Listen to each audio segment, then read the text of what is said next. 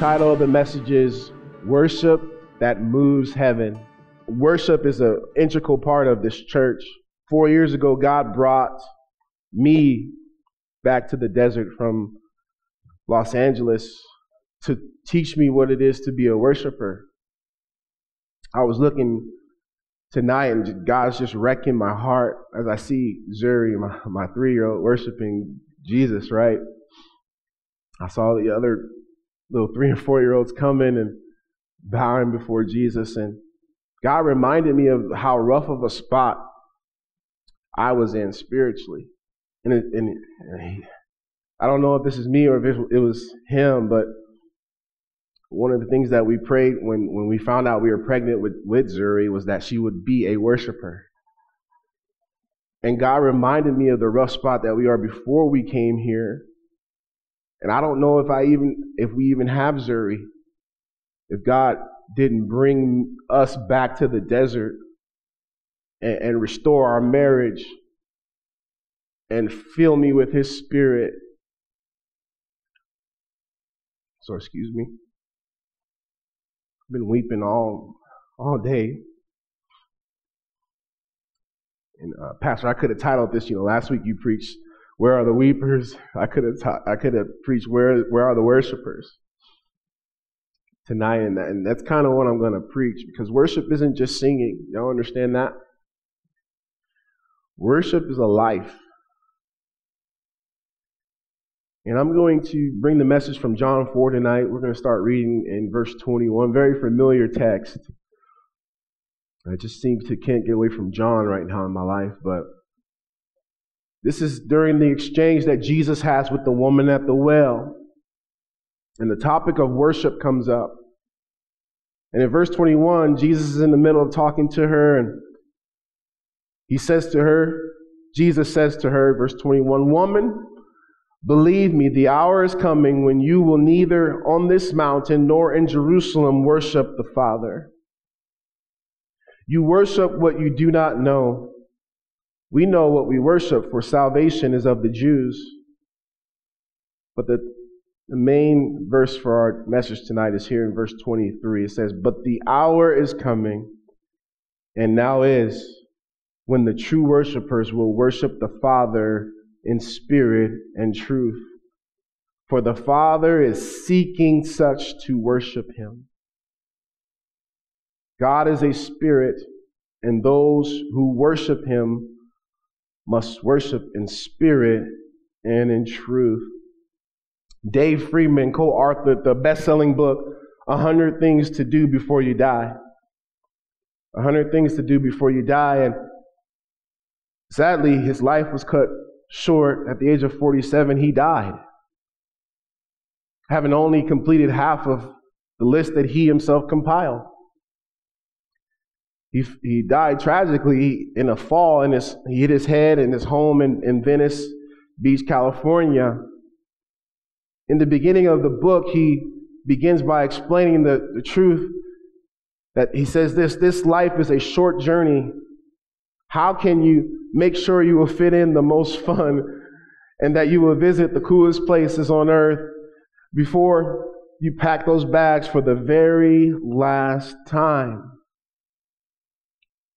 As I was thinking about Dave Freeman and many other people in the world who spend their life trying to fulfill uh, themselves through travel, through entertainment, through pleasure, through uh, obtaining position and prominence and wealth and all these other things that won't matter in eternity. And they fail to realize, like Dave did, that we were made to worship. The very reason that we were made was to worship God. And the truth of the matter is, we see it all the time. Everyone worships something. And I was thinking about this this few weeks, and I, I came to the question in my mind, in my heart, what kind of worship moves heaven?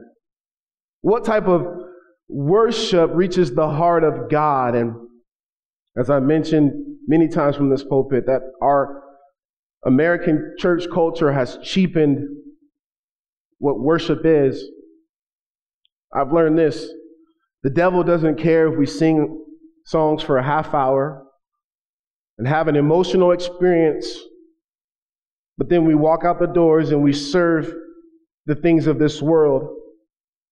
We sacrifice not for God, but for the idols that we are trying to obtain. We feed our fleshly desires, and the devil doesn't care if we have an, a, a, worship experience for a few moments. If we get emotional for a few moments, what the devil, eh, and let me tell you this, this is what, this is what the competition has always been about worship. The devil, he mimics God. And God, we're going to see in a moment, the Father, he, he's seeking worship. So is the enemy. And I've learned a long time ago that worship, the reason why there's so much intense controversy around worship and, and what it, how to, how to define it and what it looks like and, and, and why is there so much contention? Many churches have split over this. And I mean, so, why is there so much contention around this subject? It's because it's powerful. Not just the singing, but the life behind the song. Some of us, we're asking God to rend the heavens when what we need to be asking for God to do is to rend our hearts, to make us once again worshipers. I was thinking about the definition of worship to be in awe, to be in awe of Him. We've lost our awe. We've lost our wonder. We've lost the, the sacred, holy respect and fear of God in our culture. And there goes what we are witnessing happen around us. We're seeing the deformation of human life. We're seeing human trafficking, those made in the image of God, uh, people, humans being sold and we're, we're seeing it happen throughout our culture. And you know what the main thing is? It is because we have departed away from God and a, a fear of God and a worship of God. So tonight I want to just take a few moments. I won't be long to to unpack what Jesus said in verse 23 about worship. I believe this is the type of worship or that that reaches heaven, that moves heaven. I want you to notice with me, first of all, tonight, the season for worship.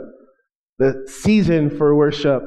Jesus says to this woman at the well, but the hour is coming and now is. The hour is coming and now is. And we talked about this many times as we've gone through the Gospel of John, how Jesus talked about divine timelines and how uh, there was a certain hour and, and Jesus is talking in the same language to this woman at the well and he's saying to her that the season for worship is now. Why? Because the bridegroom had come. The bridegroom had come. Emmanuel, God with us.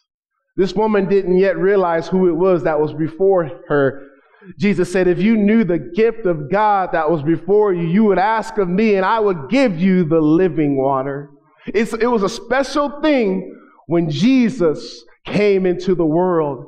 God became flesh. And I think we've gotten over the awe of that.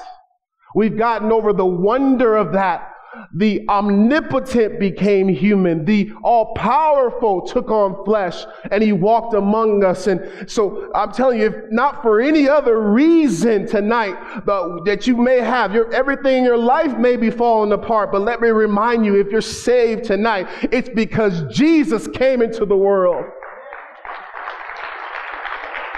for you he came to seek and to save that which is lost. He came for me. And I, I don't know about you, but I know I'm a wretched sinner deserving of, uh, of being separated from God for all of eternity in a literal place called hell. I know what I deserve and I'm thankful that he came. Just like that woman, she's in heaven right now. I bet you she's thankful that Jesus stopped by that well to tell her about the living water. Somebody say amen tonight. Oh, it's a season of worship for the church. Jesus said the hour has come and is now that the worshiper, that worship should take place. See, this woman was concerned about the logistics of her worship. She told Jesus in verse 21, or before in the verses preceding, that they worshiped in a certain mountain and, and, and that the Jews believed that you can only worship in Jerusalem at the temple there. Those Samaritan people had even erected their own temple uh, there on that mountain. And, and what Jesus was saying to this woman, he said, Hey, you don't need to worry about where the hour is coming, where neither in this mountain nor in Jerusalem will you worship the Father. It's not about logistics. It's more important who you worship, the Lord. And I'm standing in front of you is what he would soon tell her. She did not realize who she was in the presence of. And folks, let me remind you if you're saved, that God lives within you. So you can worship anywhere, anytime. You, you can go straight to the throne of grace. So oftentimes, the, the greatest, I have the greatest worship sessions, just me in the car by myself. And I, I'm a phenomenal singer when it's just me and myself. And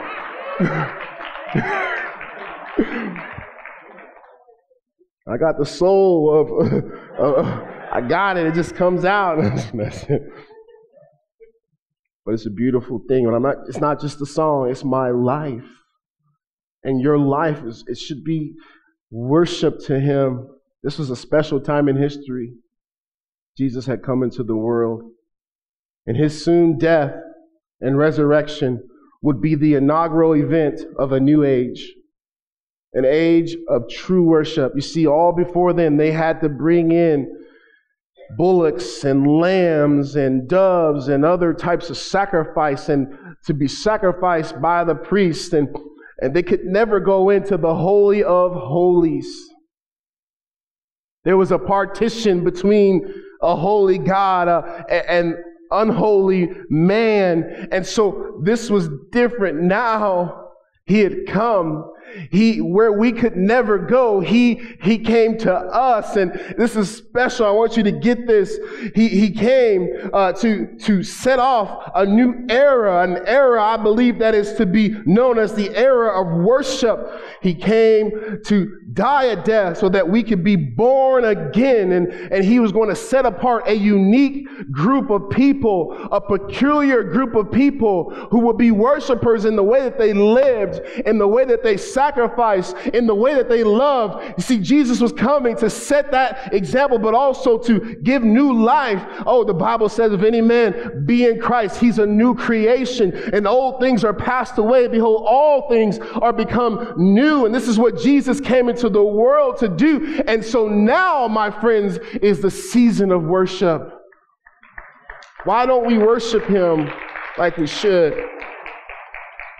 That from every nation, I was thinking, we sang it tonight, from every nation, tribe, and tongue, from every ethnicity, from every socioeconomic class, from every corner of the globe, there would be a people that would worship him, that would bring honor to him through their lives. And this is the hour of worship, the season of worship. But I want you to see, secondly, tonight, worship that reaches heaven is authentic worship. Look at verse 23. He says, The hour is coming, and now is when the true worshipers will worship the Father in spirit and truth. Let's unpack that. God is looking for authentic worship.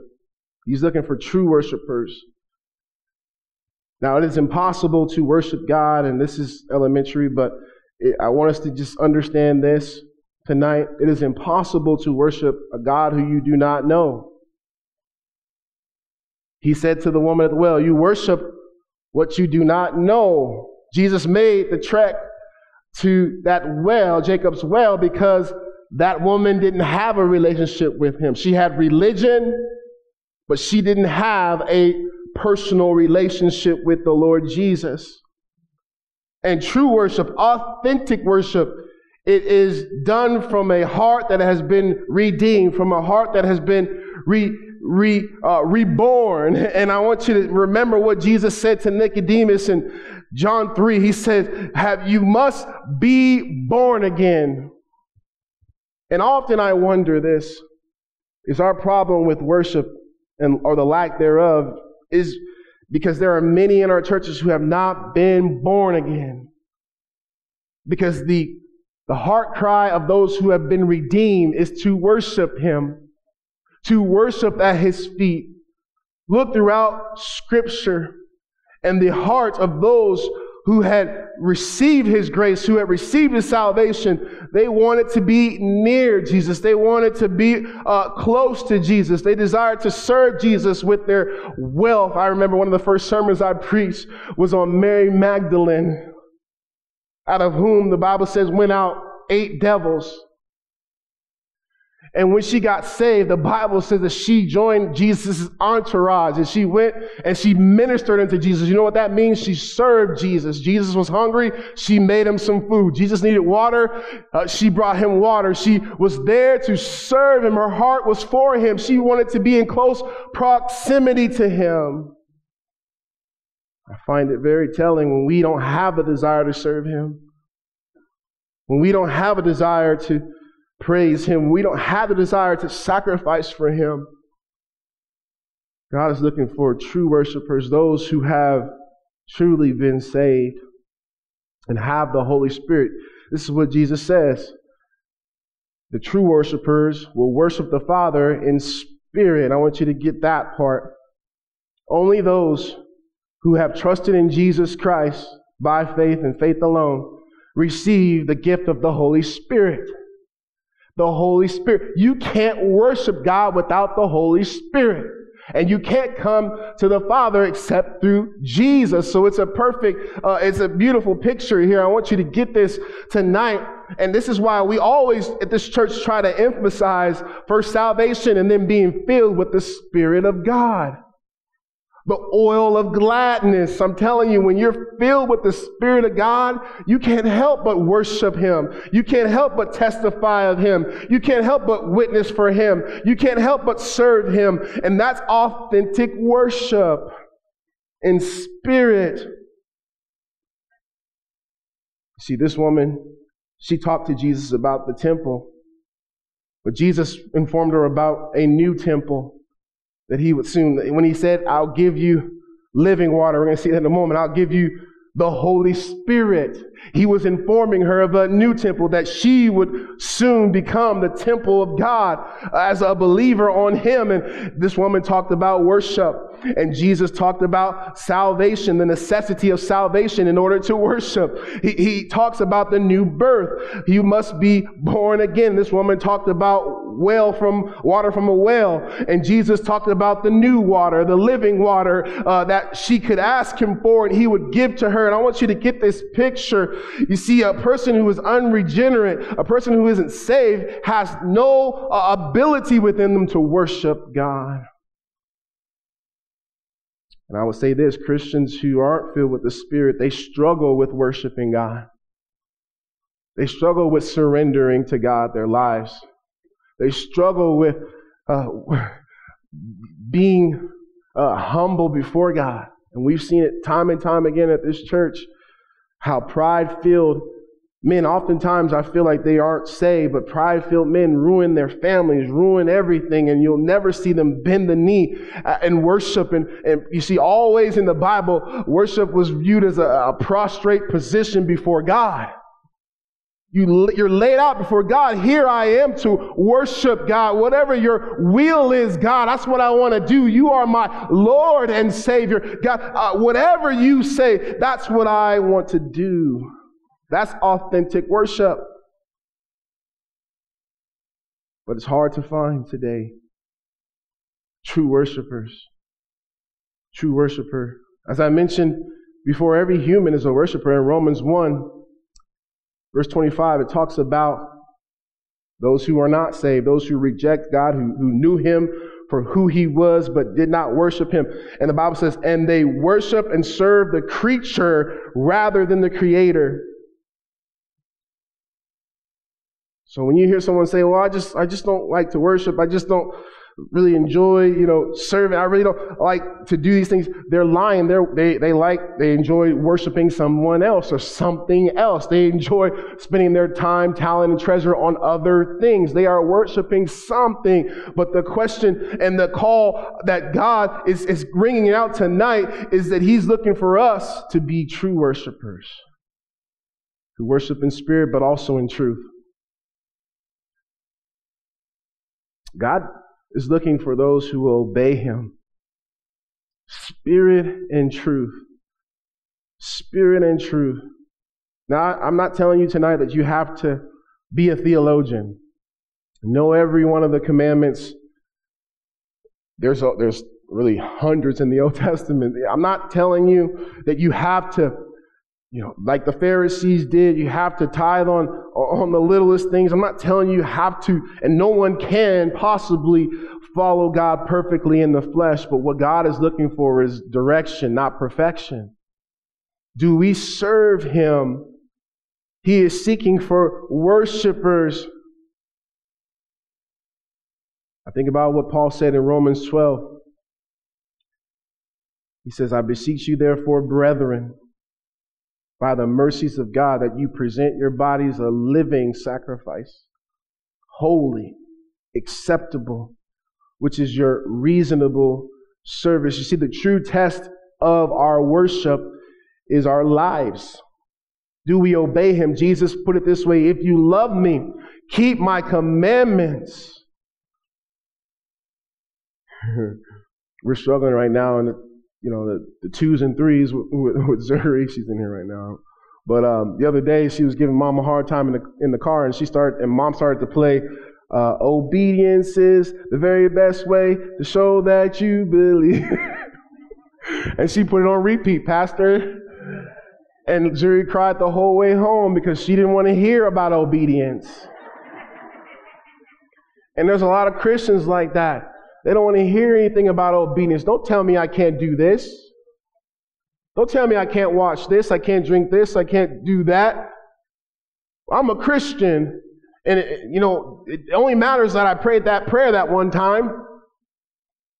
It only matters that, hey, I show up here once every three weeks Throw $5 in the plate. Hey, don't talk to me about living for God, a holy life, set apart life. You know what? That is an indication of a heart that is far from God or not regenerate. And I want to tell somebody tonight, may we, we pray for this. We pray that God will set our hearts on fire again. And that's when we'll see revival.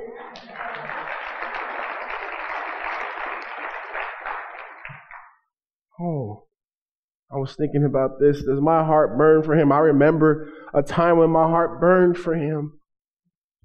When I would pay to go, if someone, if there were five people there and they wanted me to come to San Diego, I'd put gas in the car. I'd take time off where I'd drive out there to preach to those five people and I'd preach my heart out. Get home and the gas lights on. I'm like, all right, God, I don't know how I'm going to get to work next week. I don't know how. He always would show up. I remember a time when I, I, he'd wake me up at night. I remember one time I was sleeping in my bed and there were some people making some hoopla outside my window and my flesh wanted to get mad and say, "Hey, knock it off." But you know what God told me to do? Get up, go out, share the good news with them. And I remember it's like when I walked out, they all just sat down and, and were silent. And I just preached to them. And listen to me, I'll never forget it. I said, Do any of you want to receive the Lord Jesus as your Savior? They all rose their hands. We prayed right there. I said, Now I'm going back to bed. Can you keep it down now? And they didn't make a peep. I'm telling you, there was a time when my heart was on fire, and like God convicted me about that this week. Like, hey, you're growing cold. Hey, uh, you, know, you know, I remember when you preached to, you'd preach harder to some empty chairs than what you've been doing sometimes lately. You've been kind of lacking in the prayer closet. You've not been pursuing me. Your heart isn't on fire. I'm telling you what he, what he's done. What you, what you're seeing right now is he's convicted me. You see, these messages, they only preach like this when it, God works in our hearts first. And I'm going to tell somebody, ask God to light you on fire once again. Where are the Christians whose life song is, To worship you I live? I was listening to that on repeat today. The reason why I'm here, I can't help but cry out and serve Jesus. He's been so good to me. You see, when I was lost, He found me.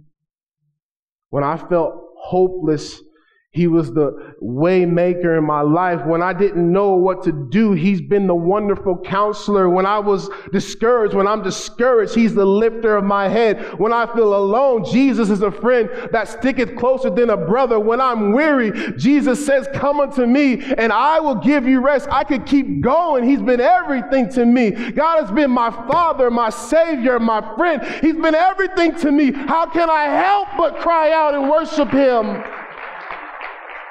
How can my life be lived for anyone else but for him? Oh, you see, the demons get it better than sometimes we do. Anytime in the Bible that they came into the presence of Jesus, they cried out. Oh, you remember that the demoniac from the Gadarenes, when Jesus came on the shore, he ran up to him naked and, and bloody and all that, all of his, uh, his openness. And he says, Jesus, what have I to do with you, thou son of the living God? What you doing here? Are you going to torment me? He had to worship. He bowed down before him. Oh, I was reading about it this week in Acts chapter 16, a little demon possessed girl in Philippi. Oh, she was used by her masters to, to, to give fortunes and other things. She brought them great, great wealth. And, but she followed around Paul and, and Barnabas and she said, this, these men are the servants of the most high God and they share the way of salvation. After a few days of this, Paul got irritated because the Bible talks about she croaked it out. She was she she she sounded like a crow as she was saying it. And he turned around and he, he rebuked the demon within her, and the demon came out of her, and she went back to her masters, and she could no longer see the fortunes or the future. Paul and Silas were thrown in prison. They were beaten and prison isn't what we have in America, where you get three square meals and a clean cot to sleep on. Prison, most prisoners died from the disease and the sickness, and they had open wounds. But the Bible says that at midnight they worshiped God. Why? Because He was worthy of stripes. He was worthy of any sacrifice. He was worthy. Is He worthy tonight? And you know what's going to shake America? When true worshipers begin to worship Him in spirit and in truth. Right now, even though it looks like all hell is breaking loose in this country, if we got back to worshiping, if we stop looking at the world and start looking at Jesus, the author and finisher of our faith, hey, His world was messed up. Hey, He was under a Roman Empire. Hey, He dealt with things, but He kept His eye on the race and He finished His course and He set the captives free. I'm telling you, that's what we have to do. It's worship. That's the type of life God will bless, will, will use, will, will, will do miracles through true worshipers. This is what God is looking for. The Bible says in verse 23 that the Father is seeking for such. God isn't looking for theologians. God isn't looking for the most talented, most beautiful, most influential. God is looking for worshipers. Those who love Him, who will serve Him, who will do it with joy. I've learned this. When you seek Him, you'll find Him. And it's like a treasure of your life. When I seek Him, I find Him. I find Him to be more than I ever could comprehend. I find His presence in my life to be sweet. I find him to change my temperament. You've been, you've been losing your cool lately? In this heat, you've been, you've been on edge? Oh, I'm telling you, you better get back to worshiping. And God will change your heart. He'll change your marriage. He'll, I'm telling you, this is all connected. Who you worship, where you see, some of you, you worship your spouse. And so when they, when they mess up, it rocks your entire world. Worship Him. Oh, He's worthy. Now is the time of worship, church. We're going to see God in the heavens. We've got to become true worshipers. We've got to let our lives be aligned with what we see in Scripture. May God set our hearts on fire once again for Him. May we fall in love anew and afresh with Jesus. So tonight, I want to ask you the tough. Ask, I had to ask myself a lot of tough questions. See, our kids see who we worship. our kids are watching. They know if we worship, we sit at the altar of Netflix. They know if, you know, our iPhones, you glue to that, heads bowed, eyes on it. They know what we worship, and, and God just hit me with that this week. I want my kids to see me living it out, worshiping God. I want God to, to be pleased with my worship. He's seeking for such to worship Him. Verse 24, he says, God is a spirit, and those who worship Him must worship Him in spirit and truth. It is an imperative. It's not optional. If you if we're not worshiping him in spirit and truth, if we're not walking in the spirit, if we're not living in a life of submission and obedience, you, we're not worshiping God. We are worshiping a God that we are fashioning in our own mind. And this is not pleasing to God. And you're not fooled. You might fool me. You might fool your spouse. You might fool your mama and your daddy. But I'm telling you, you aren't fooling God. He knows tonight who has, whose heart he has tonight. And I want to encourage us. Maybe you've grown cold in your worship. Maybe your life is not defined by your relationship with God, your obedience to his word, you're seeking his face. Well, tonight the altar is open. You can repent of your coldness, your callousness, your indifference, your apathy. You can ask God to fill you. I'll never, I'll be forever grateful for this place. I just want to remind those who serve here, our pastor included, it's not in vain. I'll end with this illustration. There's a lady who reached out to the office last week and she requested a phone call. And we get a lot of those requests. We try to get to them all, but sometimes some slip through the cracks. But I just really felt the need to, to give this lady a call. And she began to tell me her story about how they've served in ministry for 28 years, her and her husband, and there was a falling out at their previous church, and they were hurt deeply. And uh, they had to end up leaving. They were asked to leave, and uh, did you imagine 28 years? You love those people, and it's just tough. And I think she had heard in one of the messages me sharing, you know, just how ministry sometimes you get hurt. And it's not for the faint. It's not a week that doesn't go by where we're not hurt. And um, but she she called for some counsel, and I shared with her my testimony and how God brought me to Westside to restore me. I shared with her how my heart had gotten cold, you know, after I was hurt, and how I changed my phone number, how I blocked people on social media, how I didn't talk to anybody. I, and I, she was like, "Man, that's all the things that I wanted to do." She said a few months ago, about four months ago, she had a dream that her and her family were coming down a valley,